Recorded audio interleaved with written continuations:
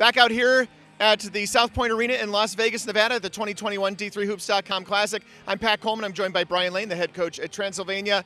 Now, his team goes home 0 2 here in this tournament. Uh, but, you know, obviously not your first trip here, not even your personal first trip here to Las Vegas. So, but even before we talk about basketball, I want to talk about your rodeo obsession. I think when you were here in 2012 or so, you're talking us through all of these things that, that have happened here, and I don't know a darn thing about any of those things.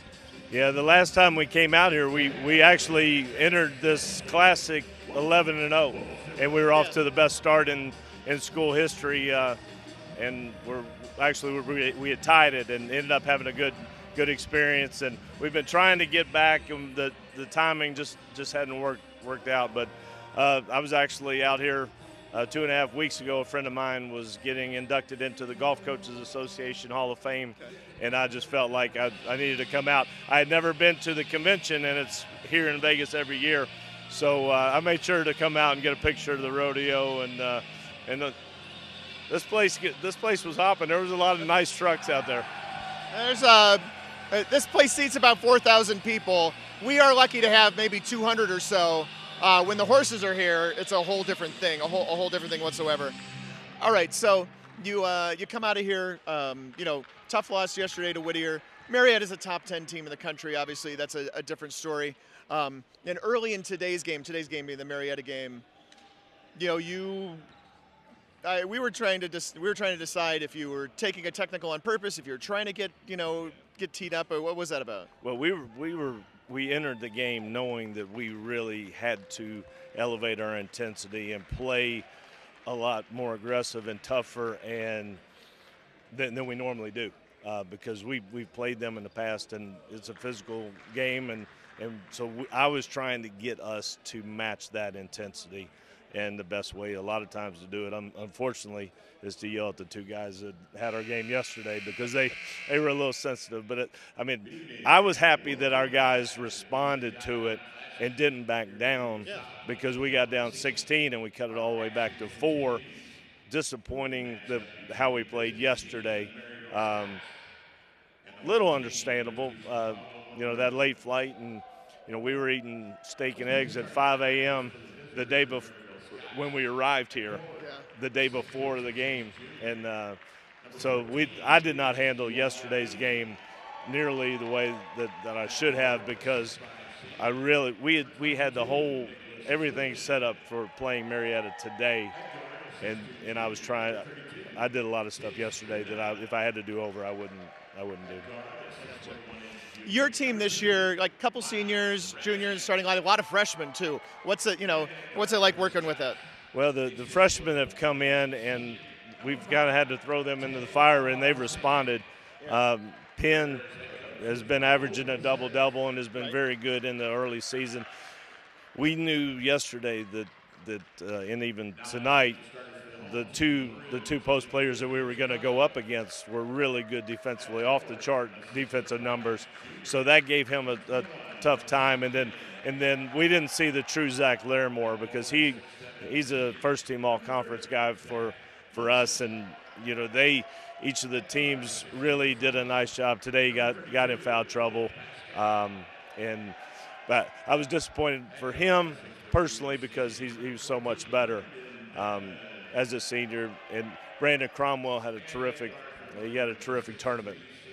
Brandon Cromwell, uh, Cromwell named to the all tournament team. Tell us a little bit more about Penn. You know, recruiting him. Did you know that he was a guy that you were going to be able to plug in as a freshman and get a double double out of? I really did. He he went to the high school right next uh, right next to Lexington in Woodford County. Uh, my father actually coached at Woodford County High School in the same gym that he plays in, that he played in. Uh, so we had some connections there, and as as I watched, he played some point guard.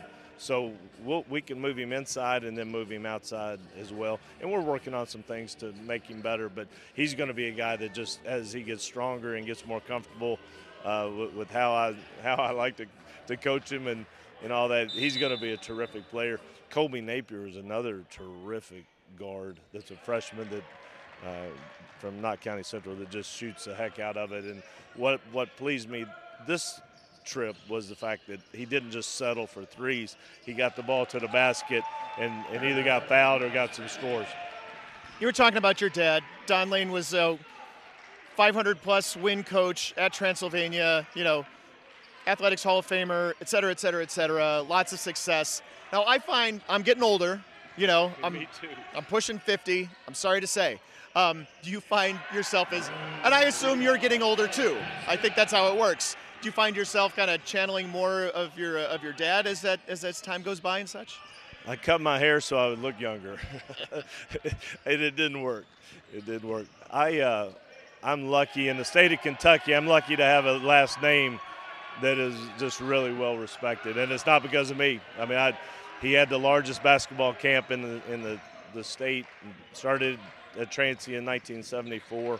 Had the opportunity to leave Transylvania to, to take some Division One jobs, and and Transylvania is just a special place where you feel like a really big time coach and a big time program, and the, the coverage that we get there locally and and everything. So as as I go along.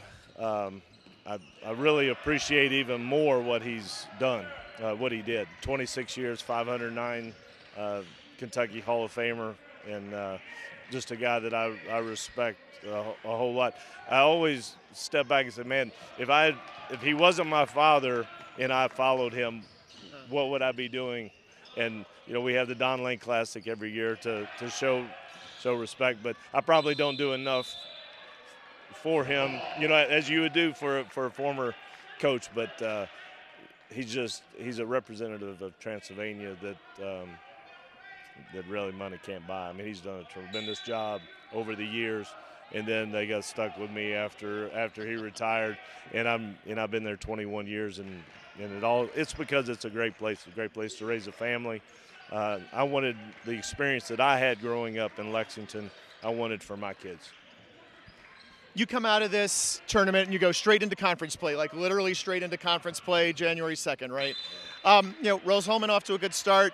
Uh, Defiance surprising in the early going. You guys had uh, a good year last year in that COVID uh, shortened year. You know, what does the state of the HCAC look like right now?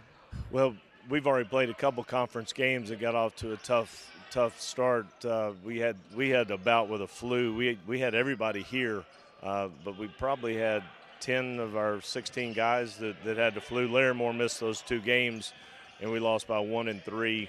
Uh, so we're kind of behind behind the eight ball to start the, the conference season. Um, but it, it's nice because we're going to be able, instead of flying back to Lexington and have to drive all the way to Fort Wayne, we're flying back to Indianapolis. We'll spend spend New Year's Eve in Indianapolis and then drive up. Um, just and it's it's you know, the administration recognizing this is a tough trip, um, and w- how can we be ready for that, that game? Because now that's the important thing. I mean, I sure I would have hoped to have been a team that, that could be an at-large team. You win this game today and, and win yesterday. It's a whole different. You know, you you're in the talk. Yeah. Um, and I've been around long enough. We've both been around long enough to know how to how you do those things. So now we've just got to focus in. But I, we found something we found something in the first half when we got down double digits, and we came back and really battled. And uh, I told them I was like, we have to stop being nice guys. It, you've got to, you've got to raise your level of intensity and play aggressive. And uh, John's team is just terrific. We played them uh, two years ago in the Don Lane Classic. Uh, I don't think you can probably find a team out there that has three guards in that rotation that are as good as them. We tried to take away the three today, and obviously they throw it into the the top. Uh, you know, he's second team all all conference guy inside. So you know what what are you going to do? That that pretty much covers it. Uh, you know, glad to have you here. Hopefully, uh, next trip is not another nine years down the line. We appreciate having you. Well, it's a terrific venue. I mean, the hotel is is awesome. The I know our fans have enjoyed coming in and everything from the, the hospitality from the arrival to the practice facility just right up to, up there. Yeah. Everything makes it. I mean, it's just a big time event, and we appreciate the invitation. And uh, glad we were able to get back and and hopefully uh, hopefully we can get back at some point. Well, we'll look forward to that. That's Brian Lane, head coach at Transylvania, his team here at the 2021 D3Hoops.com Classic.